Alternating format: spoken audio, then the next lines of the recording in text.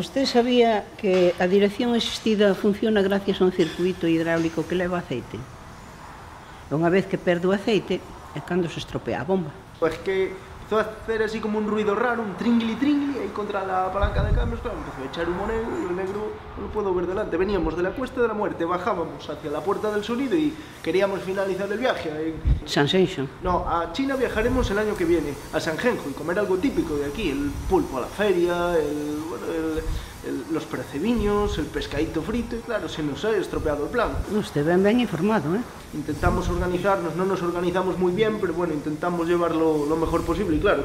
Pois pues este é unha desas averías que se van notando pouquiño a pouco. Uh eh, -huh. E unha vez que vai perdendo aceite, a bomba, a dirección ponse dura e deixa de funcionar.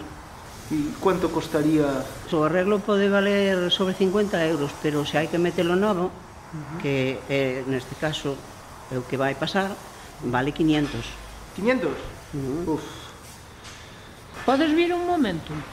Ah, ben.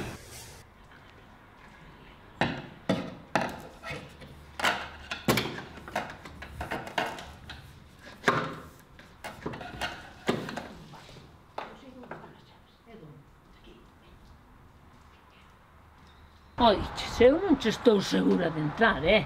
temos que entrar. Pois non estou nada segura. Pois temos que entrar, que temos que recoller esa subvención, sí ou sí. Tiñan que, que matar a funcionaria que me tiña que arranxar os papeles. A Eu se te dixe que era mala idea, que ainda andaban os espíritus pola casa. Se te dixen. Temos que marchar.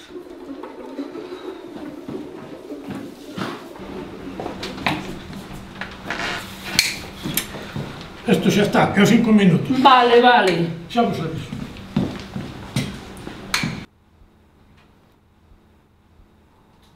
Aquí foi, nesta esquina.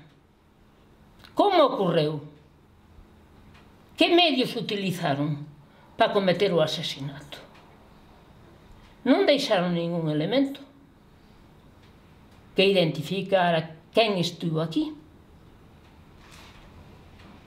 Que faz, muller?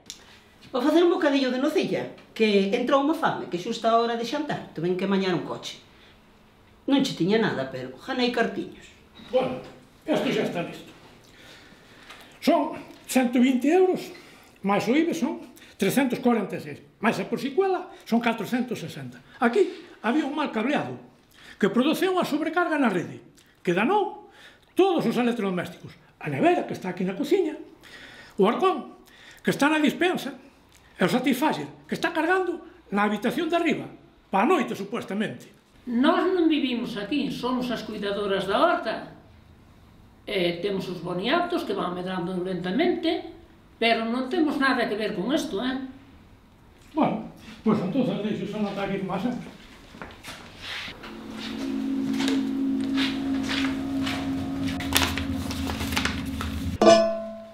De túa nada, a subvención é miña. Pensades que son parva? Pois mirade como a parva leva a subvención.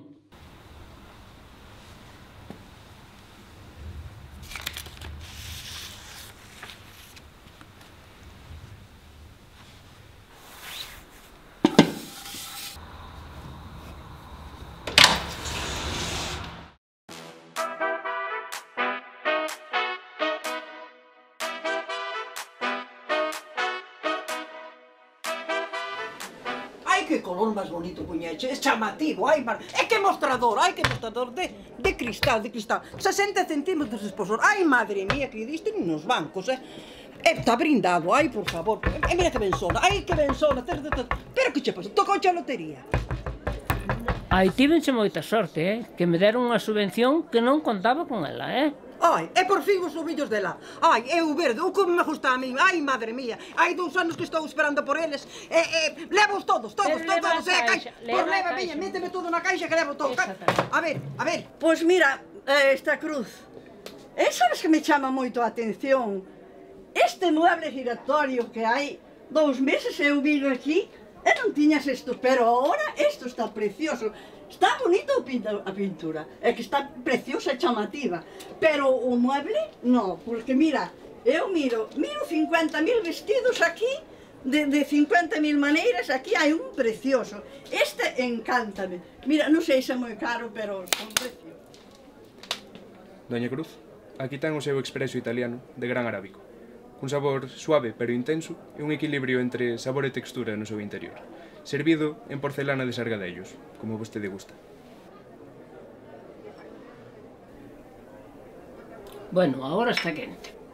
Traemos de pota, con sabor a flor de tos, dese que ten un sabor suave, suave, suave.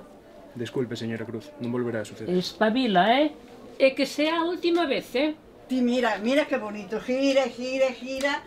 Isto nunca visto, eu nunca na vida vi isto, nunca. E por iso me chama tanta atención, e chama a calquera, porque... Mire, desculpe, estes panos que prezo teñen? A 10 euros. Están de oferta, eh? Uh -huh. Vale. E este verde daqui? O verde é de seda e trae moita, moita, moita sorte. Bueno, pois mire, vamos levar todos. Casi que sí os levo todos. Vale. Eu non sei como dices disto para comprarlo así. Onde, onde os habrá, porque eu nunca na vida os vin. Só os vin aquí. Ahora que tiran os, os todo, que antes non tiñas, eh? Antes non tiñas. Telo ahora, porque trouxeches novo, e eh, aquí está. Boas tardes. Catro caixas máis. Con urgencia, eh? Que vou na fura de diante.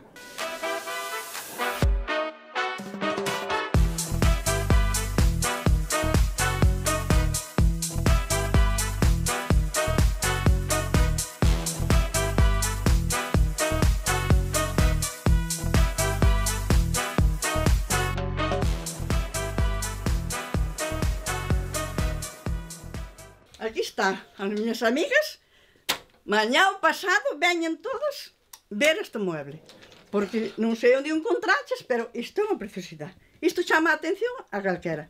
Chama a atención porque nunca se veu. entonces por iso chama a atención.